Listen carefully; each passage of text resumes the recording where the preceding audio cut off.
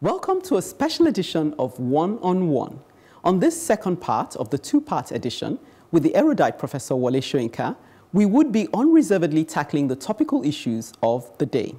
We touch on the professor's irrepressible hopes for Nigeria in the face of a global crisis against the realism of this same nation's limitations. We consider whether his years of activism have led to any regrets.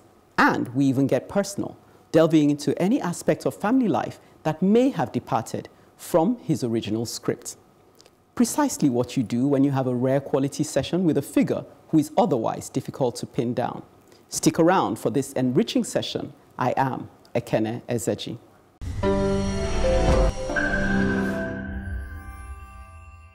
There's a statement you made that the greatest threat to freedom is the absence of criticism. Mm -hmm. So you're sort of thinking, how do you get our leaders to be more sensitive to what concerns us. You know, even during this pandemic, people are being critical of the elites as they see them, mm -hmm. you know, in terms of still looking out for themselves. What does the average person do beyond getting worked up mm -hmm. uh, to engage our leaders to be more sensitive to our needs? In Italy, during the migration uh, um, wave, when the disasters began, if you saw the funeral which was given to our Nigerian uh, people, you know, by the mayor of the town where their bodies were washed up, the solemn, the respect which is given to these illegal immigrants who died and washed up their shores. Even I was contacted because they wanted to use lines of my poetry to carve on the, on the tombstone. I said, these are human beings. These are other human beings. By contrast, a mass funeral was taking place here and somebody in government said, this is just Nollywood. You see, a pattern has been set. Is that kind of pattern makes people distrust governments so that even when they are taking the correct steps, suspicion is aroused. What are you up to? What's behind this? What's this game? Why are you suddenly waking up to the concerns of people? You never expressed it at that time. On the contrary, you came and rubbed salt in the wound of these people. Questions, purely rhetorical questions like, if you're capable of locking down the state, locking people in, why haven't you locked in cattle? This time, decreed that cattle should stay put where they are until the herdsmen learned to behave, until that virus of violence is cured. Just stay right where you are, and we're going to send up drones to make sure that you do, etc., etc., even if you have no drones. You know, it's all... So it's, it's a combination of so many things.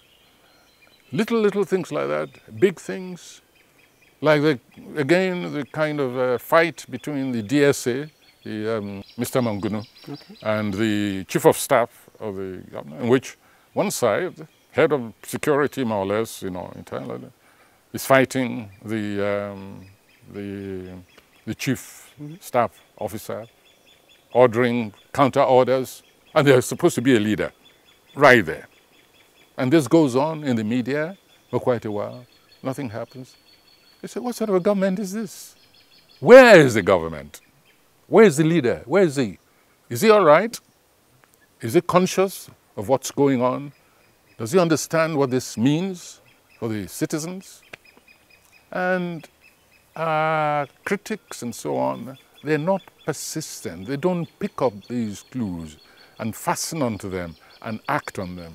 You know, you know, they wait until Wole, if Wole Soyinka hasn't spoken, and that means he's with them. That means they're incapable of doing anything. So the same thing with the legislators. Many times they're taking us for a ride.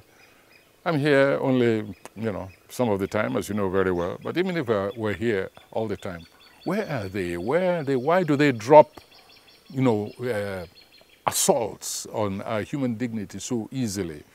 And move away from um, legislators, move away from government. There are cases of human violation within the citizenry itself. And you wonder, what's become of this case? And when I was in the university, I was teaching in the university, the same problem. One gets exhausted same government, you'll have these cults, secret cults, whose members have either thrown acid on um, a woman who rejected their advances or gang raped individuals. I was in the security department. You know, they always put me there because they know the way I feel about these things, you know. And I know what measures we took to deal with some of these miscreants, you know, who said should be treated as criminal adults. So we're not talking merely of government, we're not talking of the various tiers of government, we're talking about humanity itself. Something is dead, something has gone wrong with the humanity of this nation. And if this COVID doesn't teach us to look for that missing element in our lives, I'm sorry, we're doomed as a people.